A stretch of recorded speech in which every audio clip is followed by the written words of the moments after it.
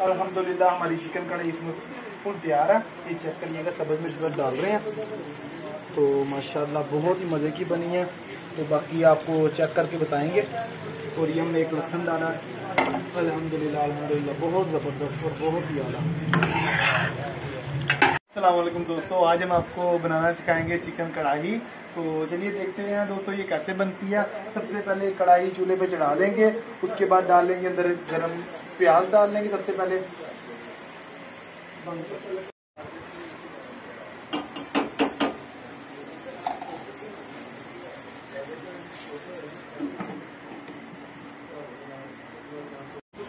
अच्छा दोस्तों, प्याज हमने डाल लिया। अब साथ ही हम थोड़ा सा गर्म करने के बाद हम ऑयल डाल देंगे। सबसे जितना इस्तेमाल करना हो।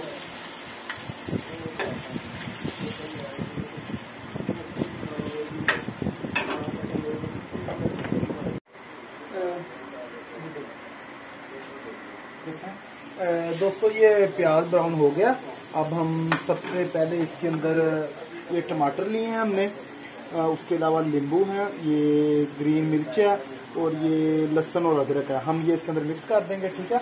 और इसको अच्छे तरीके से पकाएँगे, पंद्रह बीस मिनट अच्छे तरीके से भूनेंगे। इसको अच्छे तरह से भून के भूनने के बाद हम इसके अंदर थोड़ा सा डालेंगे पानी, ठीक है? हल्का सा पानी लगाएँगे, ताकि ये ठंडी हो जाए।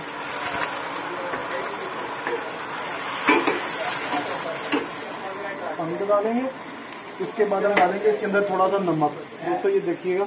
इसके बाद हम इसके अंदर थोड़ा सा नमक दे डालेंगे।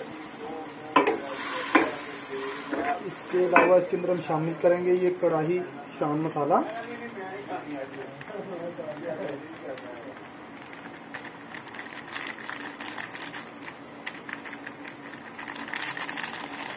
और एक साशे और इसके अलावा काली मिर्च का पाउडर।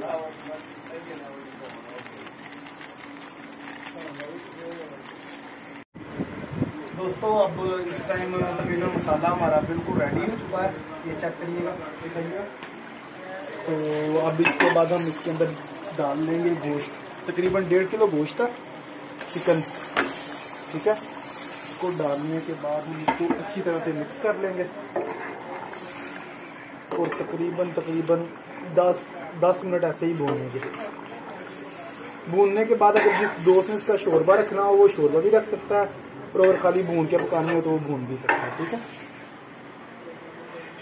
ये चिकन काफ़ी तैयार हो गया। अब हम इसके बाद इस तरह थोड़ा सा दही का इस्तेमाल कर लेंगे, ठीक है? देखिएगा। तकरीबन आधा पा ठीक है? इतना इतना हम इस्तेमाल करेंगे। ये आधा किलो दही है, लेकिन इसका आधा ही सामने डाला है। तो अब हम इसे अच्छी तरह भून लेंगे।